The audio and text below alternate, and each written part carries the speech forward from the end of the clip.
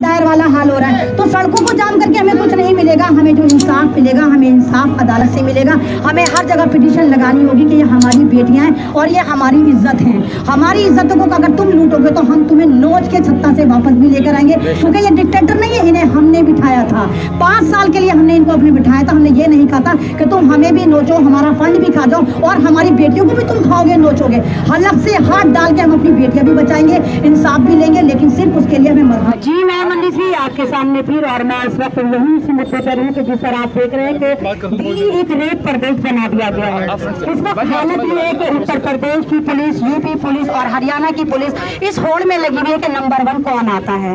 तीनों पुलिसें अपने अपने हाथ झाड़ लेती हैं। अभी दिल्ली कैंट का जो आपने देखा कि रेप कांड हुआ था, एक सामूहिक गैंग हुआ था, अभी हम इसके जख्मों पर मरहम भी नहीं रख पाए थे कि ये एक और रेप कांड हमारे सामने आ गया। राबिया जो 21 साल की लड़की थी, राबिया जो एक मचलता हुआ ख्वाब थी, राबिया जो आपको सिक्योरिटी देती थी सेल्फ डिफेंस में थी। अगर सेल्फ डिफेंस में भी हमारी बेटियाँ सेफ़ नहीं है तो आप सोचिए कि यहाँ पर कानून की हालत क्या होगी। कानून किस तरह ठेंगा दिखा रहा है, किस तरह यहाँ पर और हमारे जो मामू जान है, हमारे जो केजरीवाल साहब जो दिल्ली के बेटे हैं, हमारे मामू जान है जो हर बात पर कहते थे, मैं दिल्ली का बेटा हूँ, मैं दिल्ली का बेटा हूँ। तो मामू जान दिल्ली की जनता आपसे सवाल करती है, दिल्ली की माएँ आपसे सवाल करती हैं कि मामू जान आप कहाँ पर हैं? आप तो धरनाजीवी थे बात बात पे आप धरना करते थे, इस वक्त आप कहाँ हैं? दिल्ली की माएँ आपको पुकार रही हैं, दिल्ली की राबिया आपको पुकार रही दिल्ली की निर्भया आपको पुकार रही हैं कि दिल्ली जो इतना बदनाम कर दिया गया, सन 2016 के बाद जो यहाँ पर एक गेम प्लान करा जा रहा है कि एक के बाद एक एक के बाद एक, इस तरह निर्मम हत्या करी जा रही है गैंग रेप करे जा रहे हैं और इंसाफ के लिए हम क्या करते हैं? ज़्यादा ज़्यादा हमारे हाथ में कितनी पावर है? हम तो जनता है, हम तो कुछ भी नहीं है। ज़्यादा ज़्यादा हम सड़कें जाम कर सकते हैं चीखम चिल्ली मचा सकते हैं और उसके बाद हम घरों को जा सकते हैं। तो ये लोग हमारी इसी चीज़ से फ़ायदा उठाते हैं कि हम लोग यूनाइटेड नहीं है। हम ज़्यादा ज़्यादा धरना प्रदर्शन करते हैं और घरों को चले जाते हैं। और जब हम घर को जाते हैं तो दूसरे, तीसरे दिन एक और गैंग रेप हमारे लिए तैयार होता है। मीडिया आती है कवरेज करते हैं और चली जाती है। उसके बाद एक और गैंग रेप तो कब तक ये होगा दिल्ली की जनता को केजरीवाल साहब से सवाल करना चाहिए था कि मामू जान, आप इस मुद्दे पर उतरिए। मामू जान, माना पुलिस आपके हाथ में नहीं। मामू जान, आप हमारे चीफ मिनिस्टर हैं। क्या आपने एफआईआर करी? आप एक दिल्ली के नागरिक भी हैं। आपने राबिया की तरफ़ से एफआईआर करी, आपने दिल्ली कैंट की तरफ़ से एफआईआर करी, नहीं करी। आप ये कह देते कि नहीं, हम नहीं जानते। अब ये रेप कांड हुआ है यहाँ पर।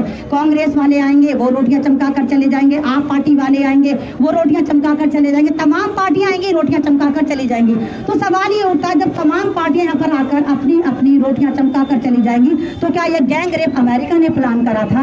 क्या ये अफ़गानिस्तान ने प्लान करा था? क्या ये पाकिस्तानी करवा कर गए जब तमाम पार्टियाँ यहाँ पर आ रही तो फिर ये गैंग रेप किसने करवाया? सवाल ये उठता है आप लोगों को समझना चाहिए। तमाम पॉलिटिकल पार्टियों के गिरेबान आपको पकड़ने चाहिए कि हमने आपको भी आजमाया हमने आपको भी आजमाया। आपने हमारी बेटियों के लिए क्या करा? आपने हमारी बच्चियों के लिए क्या करा? आपने हमारी बहनों के लिए क्या करा? शर्म की बात यह कि ये डाली है ये कैपिटल है ये कोई गाँव नहीं है। कि आप किसी की भी बेटी को लूटेंगे, मारेंगे, काटेंगे और दरिंदगी कर कर निकल जाएँगे। वो राबिया बच्ची जिसको नोच दिया गया, पचास से ज़्यादा चाकू मारे जाते हैं, उसके ब्रेस्ट काट दिए जाते हैं, उसके प्राइवेट पार्ट में इतनी दरिंदगी की जाती है और पुलिस कहती है, नहीं भैया, मर्डर था। कैसे डिसाइड कर लेती है पुलिस? जब पुलिस सब चीज़ कर लेती है, फिर हमें अदालत की क्या ज़रूरत है? तमाम अदालत तो हमारी पुलिस बना देती है। मुजरिम को भी ये बता देती है, ये भी बता देती कि लड़की भाग गई थी, शादी हुई थी, ये हुआ था, वो हुआ था। तो फिर सवाल ये होता जब पुलिस इतना अहम काम अदा कर देती है कि सारा फैसला एक मिनट में, एक ही आँख में बता देती है। तो फिर हमें जुडिशरी की क्या ज़रूरत है?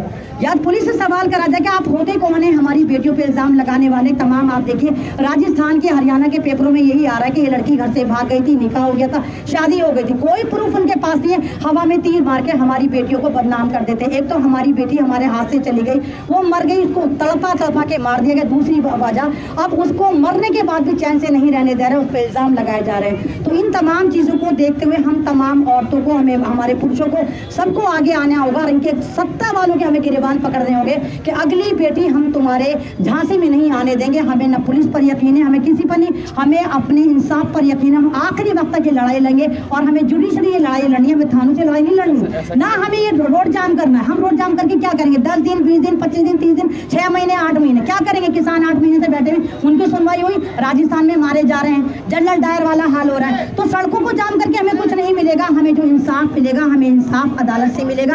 हमें हर जगह पिटीशन लगानी होगी कि ये हमारी बेटियाँ हैं और ये हमारी इज़्ज़त हैं। हमारी इज्जतों को अगर तुम लूटोगे तो हम तुम्हें नोच के छत्ता से वापस भी लेकर आएँगे, क्योंकि ये डिक्टेटर नहीं है, इन्हें हमने बिठाया था। पाँच साल के लिए हमने इनको अपने बिठाया था, हमने ये नहीं कहा था कि तुम हमें भी नोचो, हमारा फंड भी खा जाओ और हमारी बेटियों को भी तुम खाओगे, नोचोगे। हलक से हाथ डाल के हम अपनी बेटियाँ भी बचाएँगे, इंसाफ भी लेंगे, लेकिन सिर्फ़ उसके लिए हमें मज़बूत होना पड़ेगा, एकजुट होना पड़ेगा, एक प्लेटफॉर्म पर आना पड़ेगा और हमें ये दिखाना होगा कि भारत की बेटियों को कमज़ोर मत समझिए। ना वो दलित हैं, ना वो हिंदू हैं, ना वो मुसलमान हैं, वो भारत की बेटी हैं और भारत माता की जय। हम इसीलिए कहते हैं क्योंकि भारत को एक बेटी के समान दर्जा मिलता है। जिस भारत माता की आप जय कहते हैं, उसकी बेटियों को लूट लेते हैं। कौन सी माँ है वो फिर जिसको आप लूटते हैं? उस उस पर हमें अगर अपनी बेटियों को इंसाफ चाहिए तो हमें कानून का दरवाज़ा बजाना होगा, हमें खटखटाना होगा, और हमें आखिरी मोमेंट तक ये लड़ाई लड़नी होगी। ये सड़कों से लड़ाई नहीं लड़ी जाएगी, ये कानून की तरह लड़ी जाएगी। अब अगर हम सड़कों पर जाम करते हैं, पब्लिक परेशान हो रही है, नेता तो परेशान नहीं हो रहे, मामू जान केजरीवाल तो परेशान नहीं हो रहे, आम जनता ही परेशान हो रही है। ये मेरा पर्सनल ओपिनियन है, मैं कोई नेता, अभिनेता कुछ नहीं सिंगल डेढ़ फसली अमन रिजवी हूँ, जो एक स्वतंत्र सेनानी की पोती और बड़ा खुराफाती खून है। अभी मेरे पे भी जानलेवा हमला हुआ, मेरा मोबाइल छीन लिया गया, गुंडों ने मेरे ही घर के नीचे हमला करके कहा कि इसके कपड़े फाड़ के इसको नंगा करके बटला हाउस में घुमाएँगे। मुझे इंसाफ नहीं मिला, पुलिस ने इंसाफ नहीं दिया। इतनी घटिया एफआईआर दर्ज करी रात के तीन बजे तक मैं थाने में बैठी रही, मुझे कोई जस्टिस नहीं मिला। और जब मैं कहती रही कि मैं सिंगल मदर हूँ, उसके बावजूद पुलिस ने मुझे हरेस करने के लिए मेरा प्रेगनेंसी चेकअप कराया। मेरा अट्ठारह हज़ार का मोबाइल छीना, मेरे कपड़े फाड़े, लेकिन कोई एफ़ मेरे लिए दर्ज नहीं करी गई। तो यहाँ पर इसी तरह होगा, जबकि मैं एक सामाजिक कार्य करता हूँ। सोशल मीडिया पे आप मुझे देखिए, बड़ी चिंगारती मैं आपको नज़र आती हूँ। अगर एमन रिजवी जैसी लेडी पे ये हमला कर सकते तो आप सोचो कि आम लोगों के साथ ये क्या करते होंगे, जबकि सारे एविडेंस मौजूद है। मैं लाइव कर रही हूँ। लाइव में दिखा रही हूँ आदमी मुझे मार रहा है, फिर भी मुझे इंसाफ नहीं मिला। तो हमें इंसाफ थानों से नहीं चाहिए। हमारे साथ ये ट्रेजिडी के थानों में पैसा पहुँच जाता है। ये लोग हमारी दिफा को कमज़ोर करते हैं। तो ये कोर्ट की लड़ाई है। हम इसे कोर्ट से लड़ेंगे। बस मैं इतना ही कहना चाहती हूँ कि धैर्य बनाए रखिए। शुक्रिया।